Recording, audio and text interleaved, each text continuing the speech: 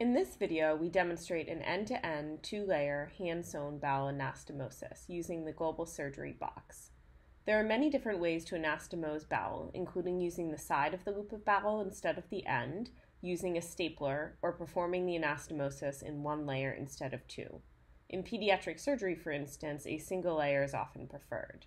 Additionally, we use the technique of the Connell stitch to come around the corner of the anastomosis. This was done to show another version of suturing, and is one way to do it, but other techniques are equally effective. These are the materials that you will need for this simulation.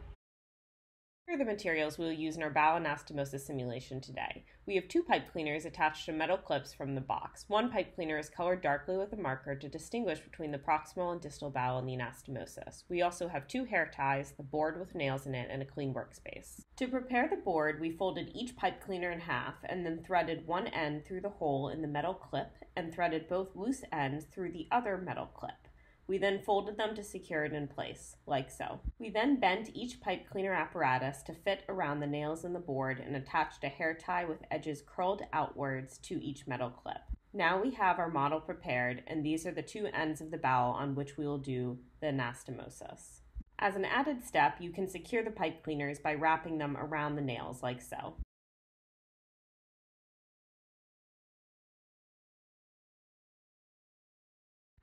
Now we're ready to begin. This simulation can be done with an assistant, as shown here, or solo. Here, the assistant reflects back the distalmost edge of one bowel loop, exposing the intermucosal surface. The surgeon then takes a seromuscular bite from one end of the bowel, going from proximal to distal and taking care not to enter the lumen, and connects it to the other end of the bowel with a similar seromuscular bite going from distal to proximal. This is called a Lembert suture.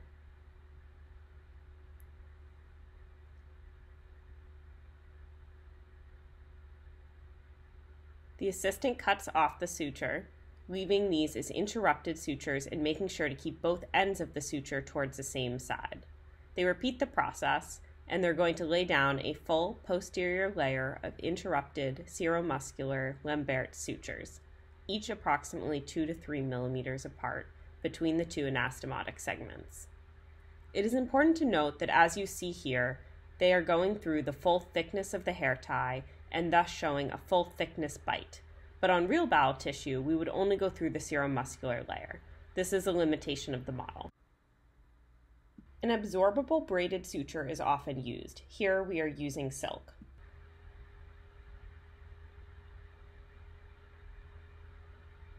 As the surgeon continues to place knots in the posterior layer, the assistant can hold the remaining threads until the surgeon is ready to tie. Then, at the end, the surgeon ties down all sutures and the assistant cuts the knots short.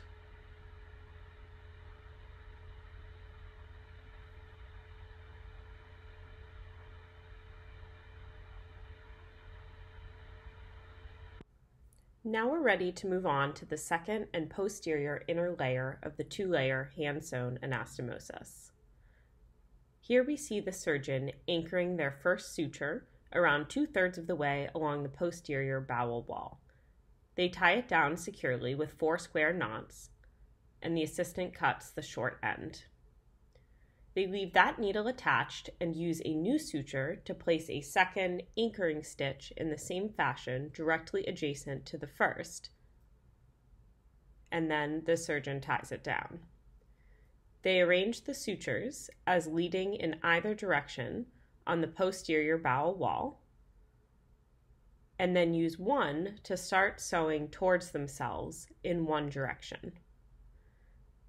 These stitches will be full thickness and will be sewn continuously as a running stitch. It is really important to take full thickness bites that include both the inner mucosa layer and the outer serosa layer, giving important tensile strength to the anastomosis. You can also see here that they're laying them down carefully so that the stitches land equidistant apart, with approximately 1 to 2 millimeters between each stitch. Now that they've gotten to the end of the flat portion of the posterior bowel wall, in this case, they chose to use the Connell stitch to invert the mucosa and sew around the corner of the bowel loop. They do this by first passing the suture from inside to outside of the bowel lumen,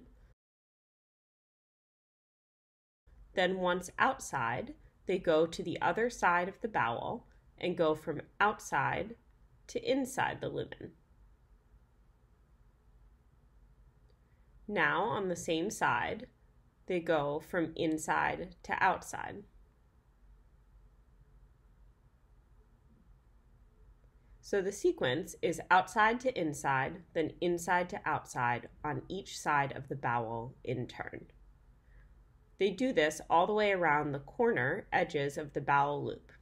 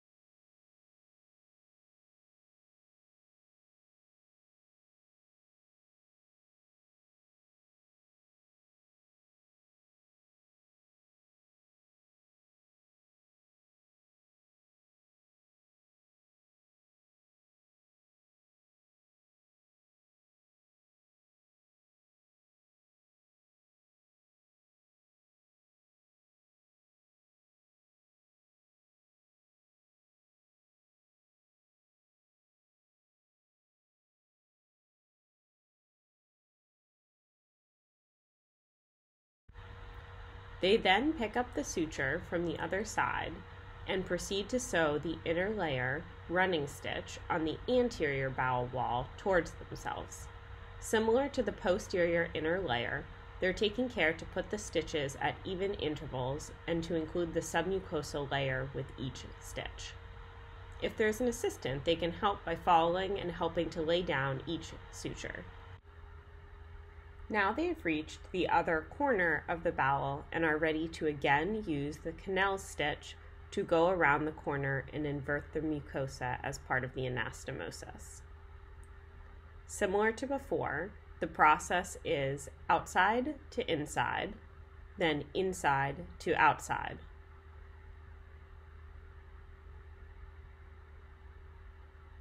Here we're going outside to inside then inside to outside on the same side of the bowel.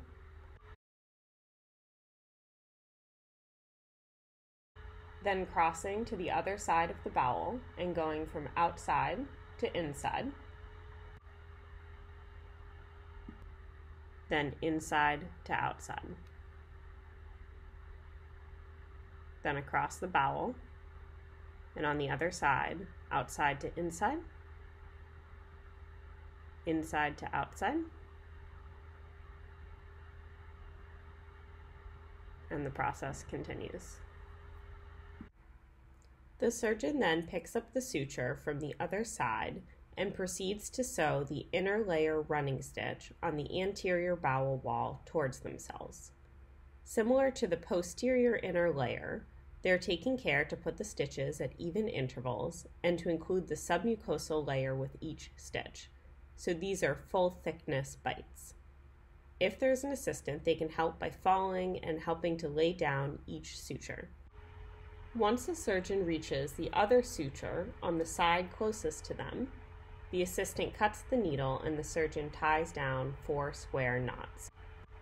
This concludes the inner layer running stitch on the anterior bowel wall. Now that the inner layer of the anastomosis is complete, the surgeon unhooks the model bowel from the metal clips holding it down to the simulation board and uses the suture to finish the Lembert interrupted sutures that comprise the outer layer of the two layer anastomosis. In vivo, this would represent the surgeon turning the bowel to one side for better visualization. If present, the assistant can help here by holding the bowel to expose the surface as shown. As before, these are seromuscular bites, so they would not be full thickness in a true bowel anastomosis. The surgeon is placing all sutures before tying them down and cutting them at the end. Once the sutures are complete, The surgeon ties them all down in turn, using square knots for each.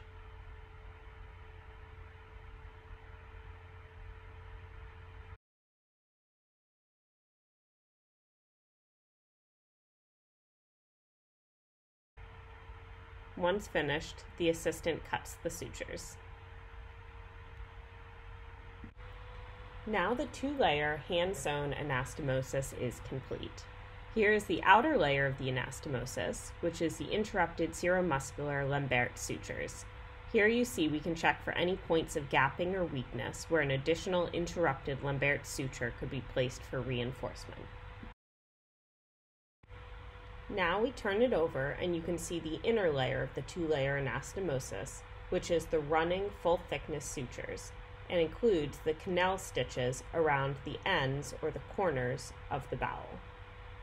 Following the end of the anastomosis, the surgeon would also want to digitally palpate to check that the lumen of the bowel is sufficient and would check for hemostasis. One other option for practicing end to end bowel anastomoses using the global surgery box is to use the two white balloons included in the kit. You can puncture them through the nails in the board like this so that they are approximately end to end. You can then use the two rolled rubber edges of the white balloons to practice a smaller lumen bowel anastomosis.